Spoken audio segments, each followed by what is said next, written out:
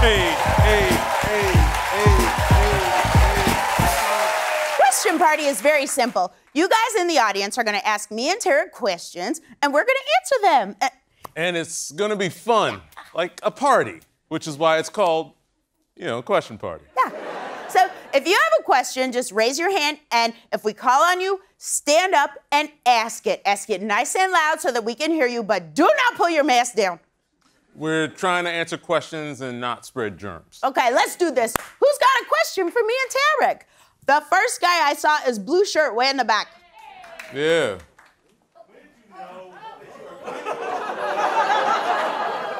That's what I said way in the back. You are very in the front, but oh no! We're gonna get both of them. Front, front blue shirt. You shout it. When did you know that you were funny and what's your best joke?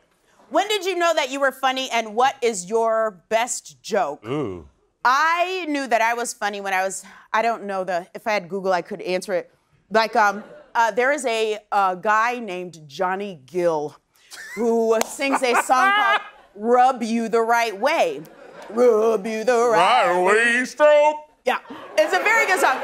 Um, and when we were at the movies with my older sisters, they were like trading barbs with this group of guys. They were just ragging on each other, and I, uh, the guy who was ragging on them, looked like Johnny Gill, and I was like, "Let's go, you guys," because this Johnny Gill looking mug rubs me the wrong way, and I, that was my best. That was my first very good laugh. That that's a that is so you. It's so beautiful. It's still the same. Uh, I think for me, I was in high school, and um, you know, I was in a bunch of, I was in like played sports and was in theater, and I did a bunch of clubs, and I was in Black Student Union, and my school was in a suburb, and they decided to have like this contest where all the guys from every club would compete, and it was a stupid contest called Mr. Spiffy, and the Black Student Union was trying to figure out which of the guys was going to go, and so my buddy was this really funny guy named Jay Jones, and everybody was going to vote for him. And this guy, Eugene, I'll never forget it, intervened. He was like, no, we can't vote for Jay. We got to vote for Tarik. And everyone was like, why? And he was like, Tarik's funny to both black and white people.